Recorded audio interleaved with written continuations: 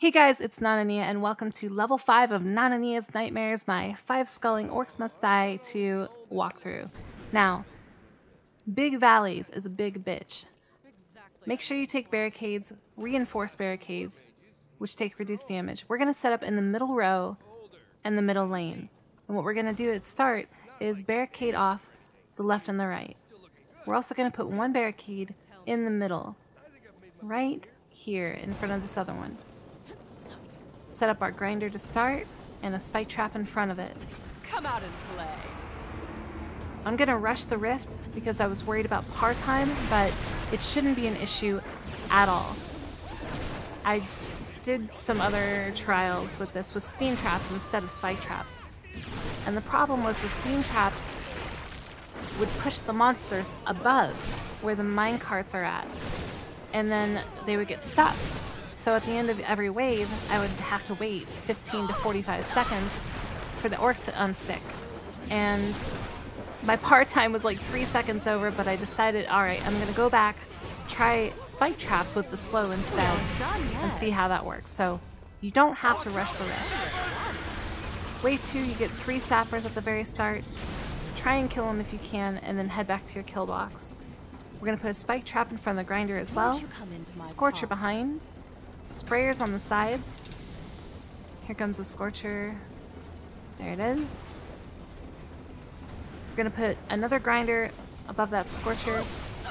Sprayers across the other wall. And then lots of other Scorchers. Now here I almost died due to the crossbow guys, so make sure you're being very, very careful with them. We've got an old Grenadier coming as well. I thought he was going to kill me, but I end up uh, kiting him well. Luck, I guess. You can dodge the grenades pretty easily. Just gotta be on your game. You can hear the skull drop. Go get it. Kill that archer. That. So, for traps. This looks Lightning Ring with Chill. Gotta have it. Necessity. A spike trap with slow. Go in, if you're a war mage, please, please, please take tar traps instead. We've got scorchers with burn longer. We've got sprayers with slow, grinders with bleed, dwarves with bleed, archers with fire arrows, barricades, and then the trap reset. Actually, forget to use the trap reset's ability, but if you take it, please use it. Many dead all at Now, I put that dwarf in a really bad place, and I'm gonna sell him after this wave is over and replace him, but you can see kind of the idea of this kill box. We want as much damage as we can get, as soon as we can get it. But we also want to have combo points, so we don't want to stack tons and tons of Fresh scorchers. hell is this? Here's another spike trap at the start. Now this barricade right here is a decoy, it's a dummy barricade. What's gonna happen is, every time a sapper comes out, they try and rush the closest thing, right? So be it a guardian or a barricade or yourself. Since that barricade is the closest, all the sappers are gonna rush that. So you can control what the sappers are gonna do. It's very good knowledge. Line up for me, please. Here I'm gonna set up some dwarves. Keep that lightning right about there. You can just hug that barricade in the middle and drop your lightning and it'll hit everything in the kill box. It's a nice little, I don't know, setup point. So many traps and so many victims. It's on the tip of my tongue what I wanted to say. I hate that. You can see these rock guys are just getting demolished. Lots of fire, bombs and arrows everywhere. It's a really good kill box. And the other thing it's great for is gnolls. When those come out, I'll show you exactly how to deal with them. I need no rest. Okay, we're gonna put another scorcher here, facing that way. Fill up the sprayers, because they will get through this kill box. There's a lot of heavy enemies in the later rounds, and they will get through. So, I also put these spike traps at the start for the same reason. There's a lot of heavy enemies. Probably don't need them, but 600 off the score for insurance, not that big of a deal. I'm gonna end up putting three more Scorchers. One more on the wall behind the current Scorcher, one right next to the barricade, and then one right next to that where I'm currently standing. So pretty dead. And then that's it for the kill box. Maybe one more dwarf.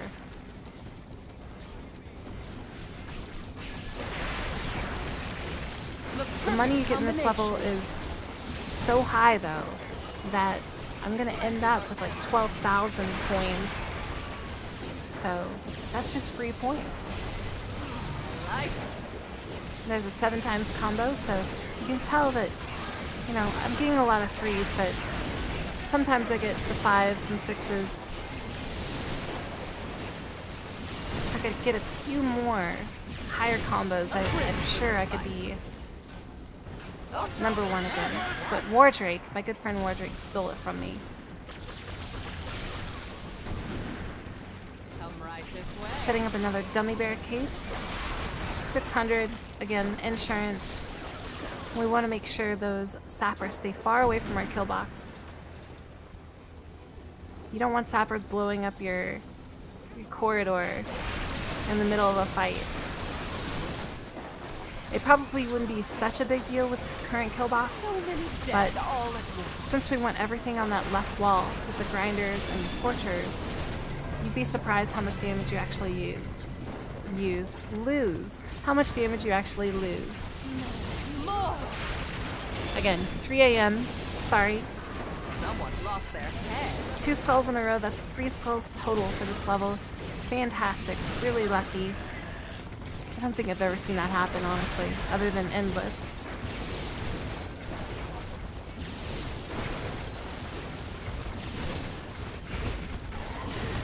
One more thing to remember is the barricades inside of your kill box may actually die, especially if you're charming, so be ready to replace those. You'll always have at least 1200 coins so you can replace two barricades if you need to.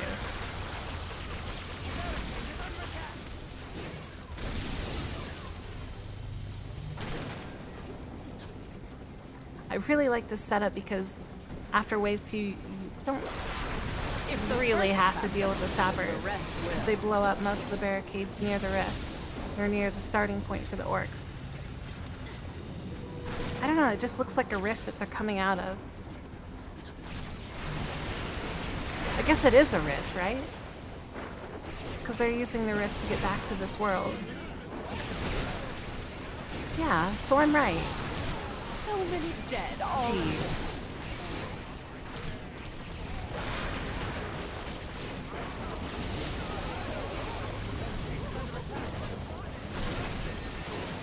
Clever, if I do say so myself.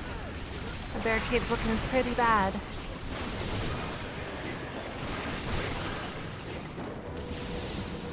Here comes some gnolls. I'll show you what I'm gonna do.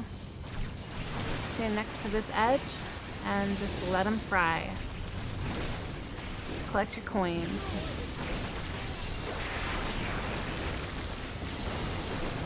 Grinders work especially well on heavy enemies now in this game. If they're, you know, my unjammed and moving. Otherwise, they're not doing anything, but I found them to be really, really good against heavy enemies.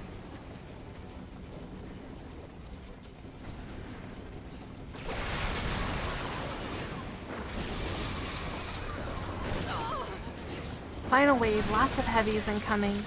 Armored ogres, earth lords. they'll run out of orcs. Just make sure you keep up that lightning, because that's your main slowing. That's your only real slowing. I mean, the tar trap or not tar traps, will. spike traps, they're not going to do it all for you. You gotta have that slow. Now, if you're a war mage, you should still take lightning ring with the chill because you know the start of the kill box is going to have the tar, but after that, you gotta rely on the lightning ring.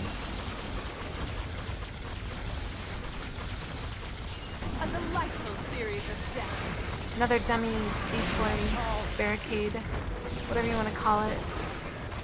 More gnolls. Get to your side. Line of sight them.